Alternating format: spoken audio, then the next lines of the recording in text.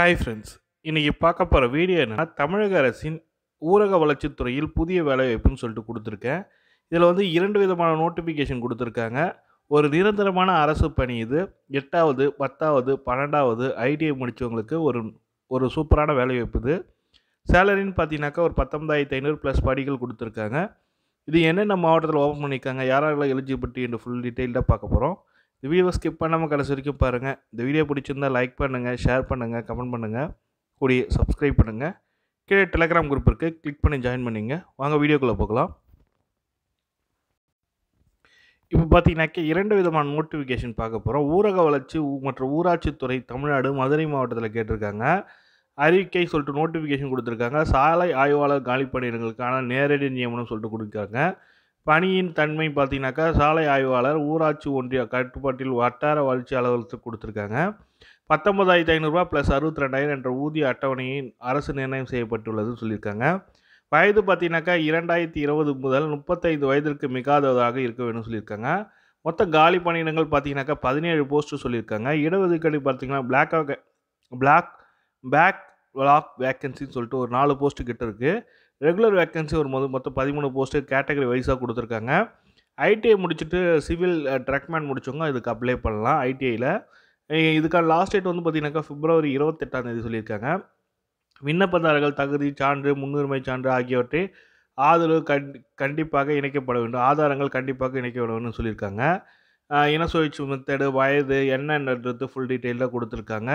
இதுக்கான ஹால் டிக்கெட்டும் உங்களுக்கு தேர்ந்தெடுக்கப்படுபவர்களுக்கு ஹால் டிக்கெட்டு இடம் அண்டு எக்ஸாமினேஷன் சென்டர் எங்கன்றத உங்களுக்கு அனுப்பாங்கன்றாருங்க நேஷனல் கேரியர் போர்ட்டலில் என் என்சிஎஸ் என்ற இணையதளத்தில் மற்றும் மதுரை மாவட்ட என்ன இணையதளத்தில் வெளியிடப்பட்டுள்ளது சொல்லியிருக்காங்க.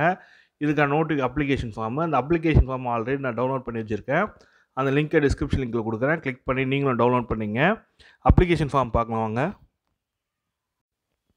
இதுதான் மதுரை மாவட்ட ஊரக வளர்ச்சி மற்றும் ஊராட்சி அழகு சாலை ஆய்வாளர் பணிக்கான அப்ளிகேஷன் ஃபார்மு இது அழகாக கிளியராக ஃபில்அப் பண்ணி ஃபோட்டோ ஒட்டி இது கூட ஜெராக்ஸ் காப்பி சர்டிஃபிகேட் காப்பி என்னென்ன பேஸ் பண்ணி நீங்கள் அப்ளை பண்ணியிருக்கீங்க எதுக்கான குவாலிஃபிகேஷன் எல்லா சான்றிதழும் வைக்கணுன்ற மாதிரி சொல்லியிருக்காங்க. இணைக்கப்பட வேண்டிய சான்றிதழ்கள் என்னென்னதை கிளியராக கொடுத்துருக்காங்க. அதை பேஸ் பண்ணி கிளியராக அப்ளை பண்ணுங்கள் இன்னொரு வேக்கன்சி இருக்குது அது என்னென்னதை பார்க்கலாம். இது வந்து கால்நடை பராமரிப்பு துறையில் காலி பணியிடங்கள் சொல்லிட்டு கொடுத்துருக்கேன்.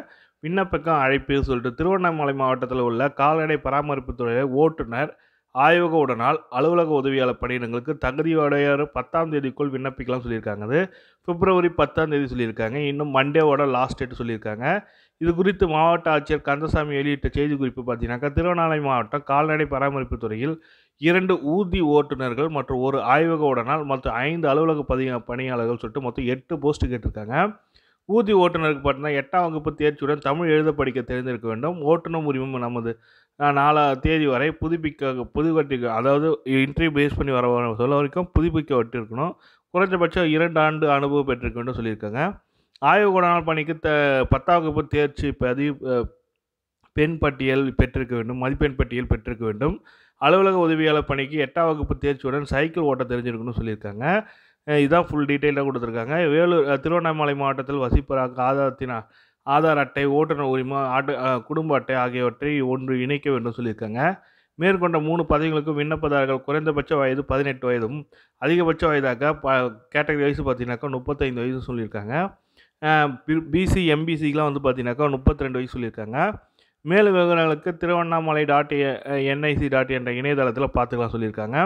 பிப்ரவரி பத்து மாலை ஐந்து நாற்பத்தைந்துக்குள்ளே வரணும் கிடைக்குமாறு கேட்டிருக்காங்க. அதை பேஸ் பண்ணி அப்ளை பண்ணுங்கள் டெஃபினட்டாக நல்ல ஆப்பர்ச்சுனிட்டியாக இருக்கும். இதுக்கான notification link and application form அவங்களோட வெப்சைட் லிங்க் எல்லாமே டிஸ்கிரிப்ஷன் லிங்க்கில் கொடுக்குறேன்.